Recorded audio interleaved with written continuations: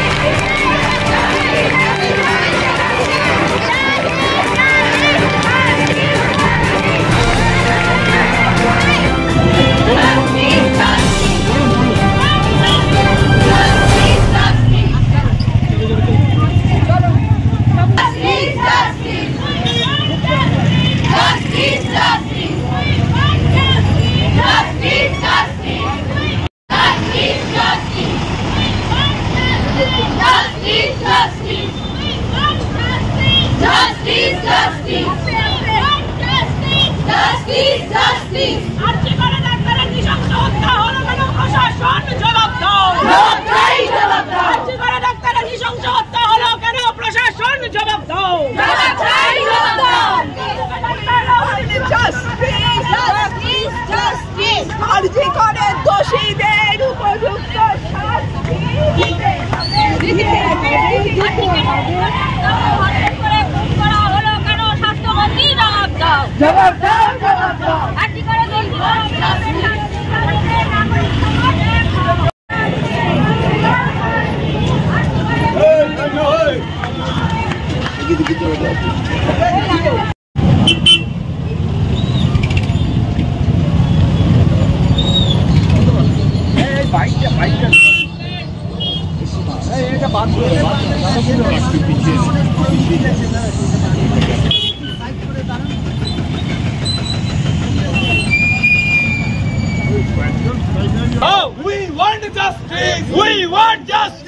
আজকে গোটা রাজ্য জুড়ে নাগরিক মিছিলে সমস্ত মানুষ এক হও। এক হও এক হও।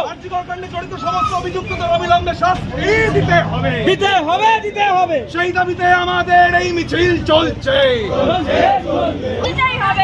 আস্তে একটু আস্তে।